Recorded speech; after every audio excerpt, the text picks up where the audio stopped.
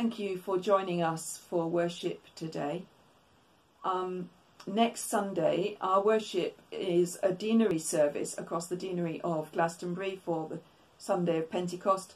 That service will be on Zoom and it will be posted here on the Wheathill YouTube site later on on Sunday. So it will be up later than usual next week. But if you would like to join the Zoom service, then please do email me, um, contact me through our website, and I will give you the details.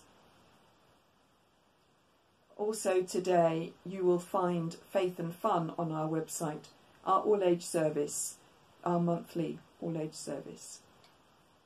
So, our closing blessing.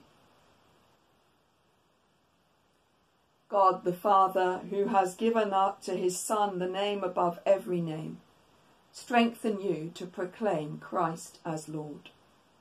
God the Son, who is our great high priest, passed into the heavens, plead for you at the right hand of the Father.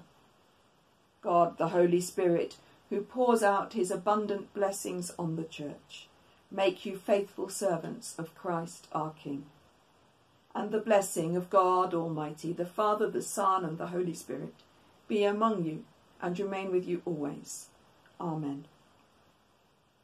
Waiting expectantly for the promised Holy Spirit, go in the peace of Christ.